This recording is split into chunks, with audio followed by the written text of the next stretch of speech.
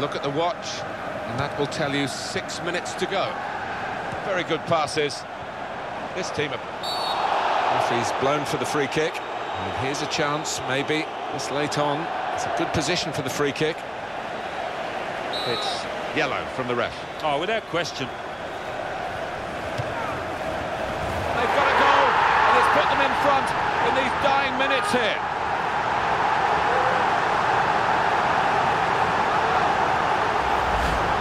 Uh, giving the keeper the eyes there, failing to go right and finding the top left.